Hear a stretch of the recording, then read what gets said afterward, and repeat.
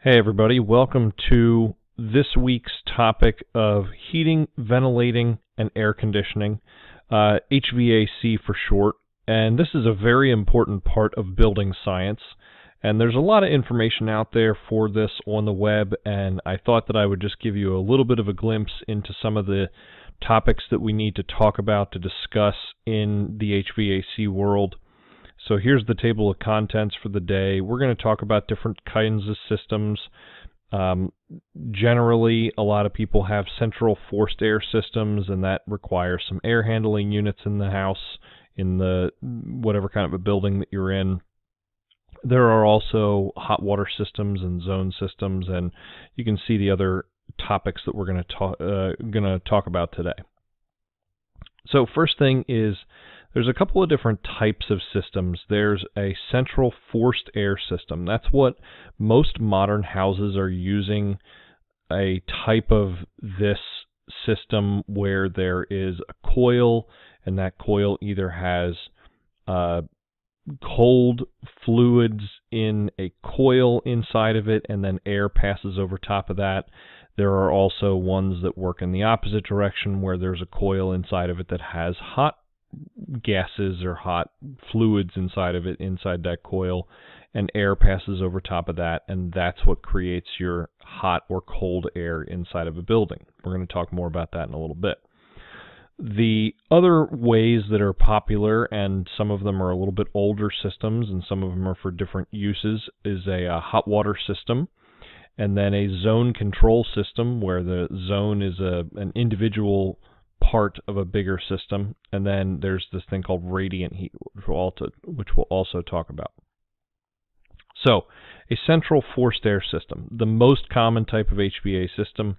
And again, it's circulating air through and uh, through and around that heating and cooling devices.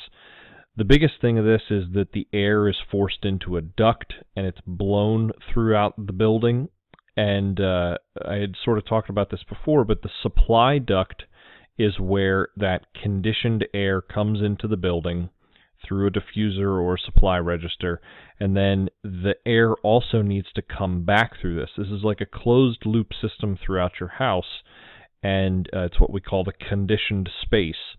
And that air is coming back into the system through what's called a return duct.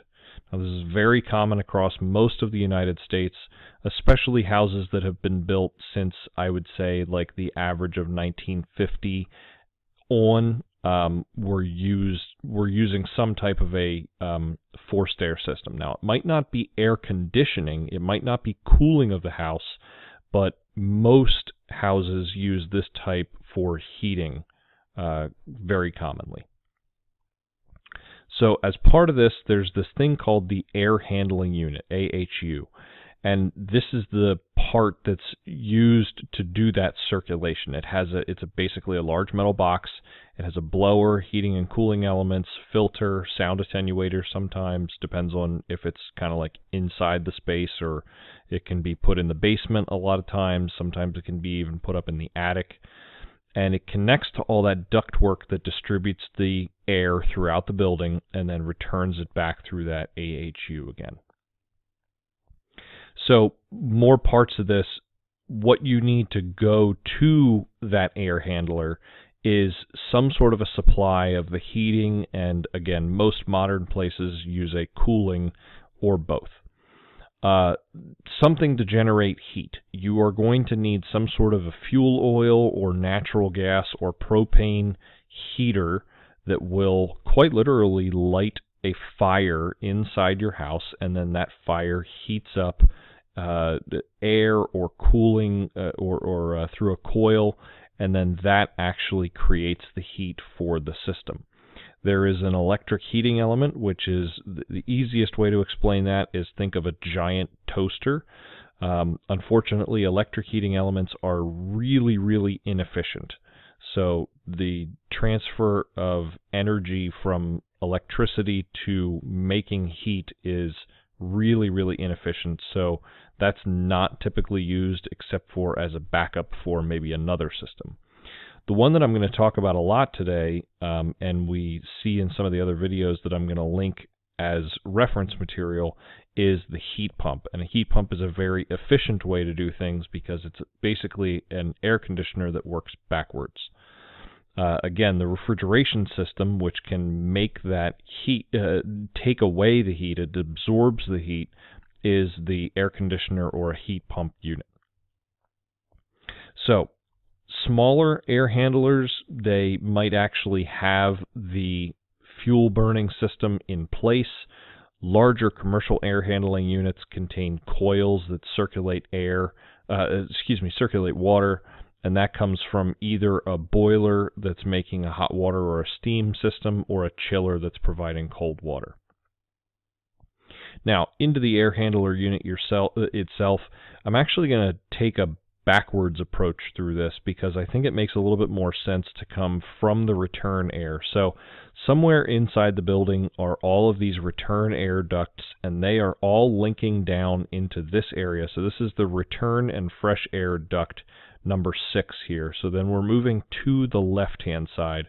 Number five is a filter compartment somewhere. You're going to have to make sure that you try and eliminate dust and pet dander and all the other stuff that sort of just gets sucked in through the building.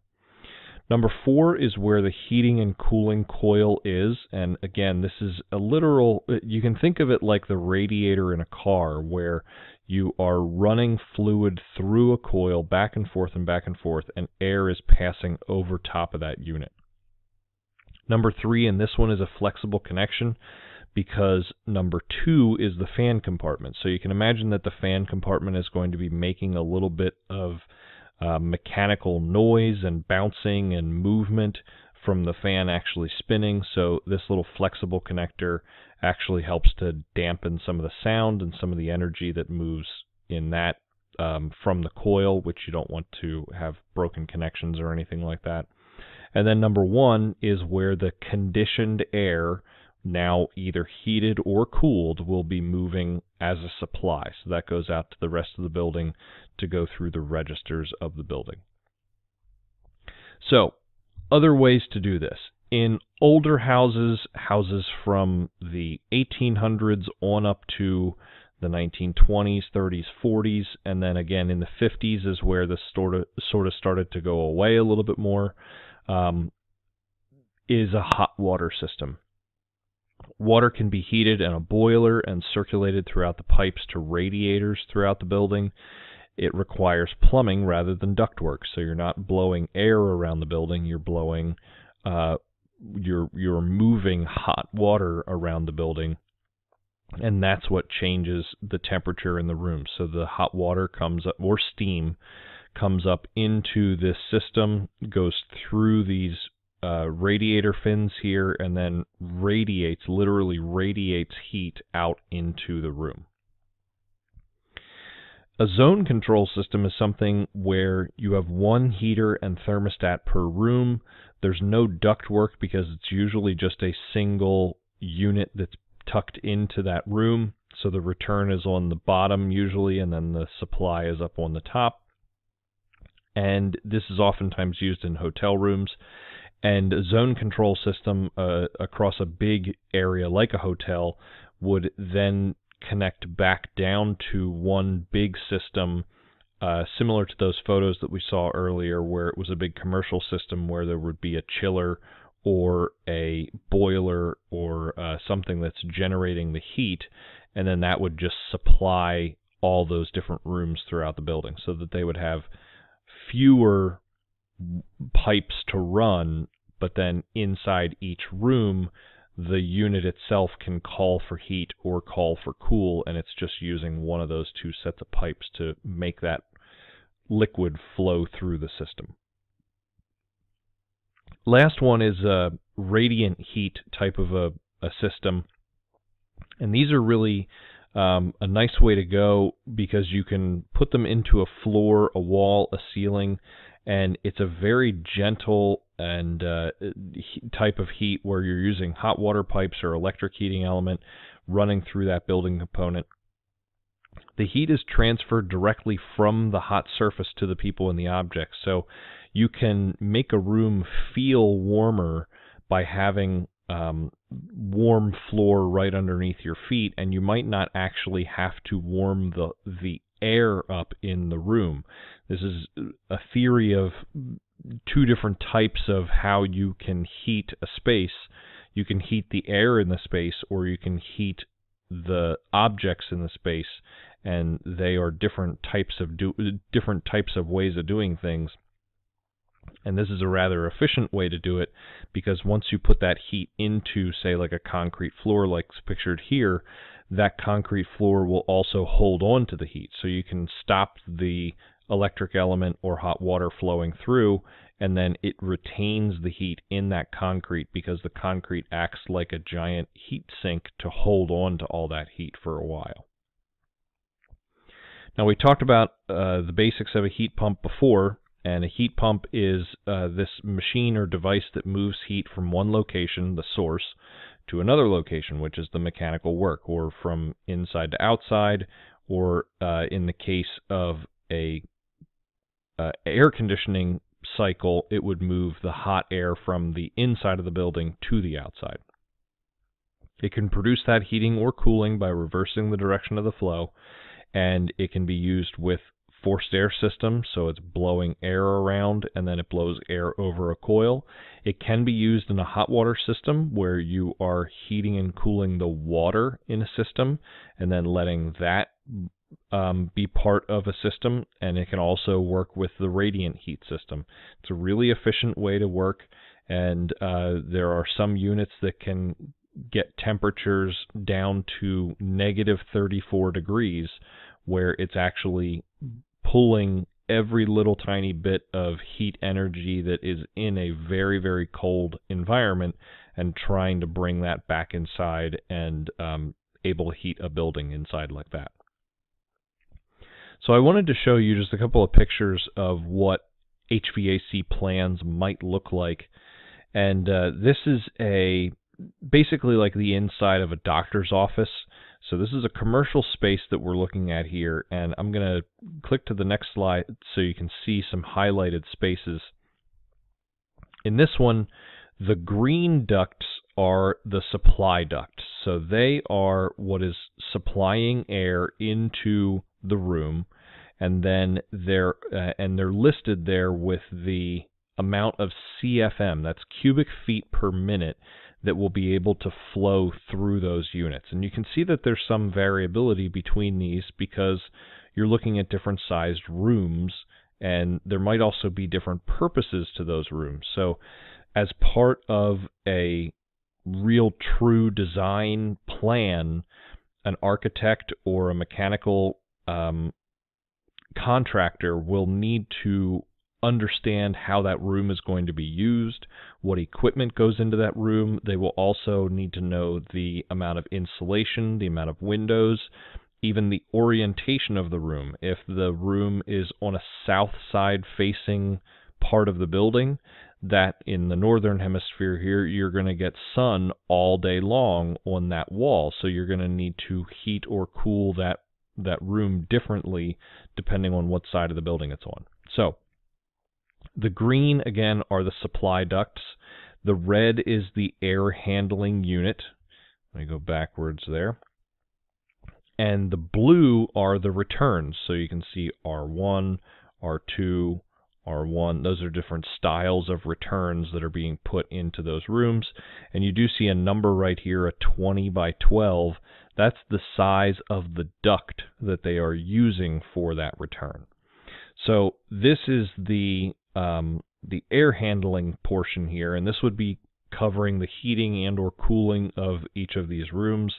By the by the amount of information that I have here, I'm supposing that this would be a heating and cooling system because there's a single air handling unit and that's covering the supply and the return in each of those rooms. Now, when we go down to this one, this is a little bit different. Again, I said that this was a doctor's office, so they have different um, rooms where they might need ventilation. So the yellow here are vents, and you can see some information about these vents, about what they need to do. Each one of these vents is a 75 CFM, again, cubic feet per minute.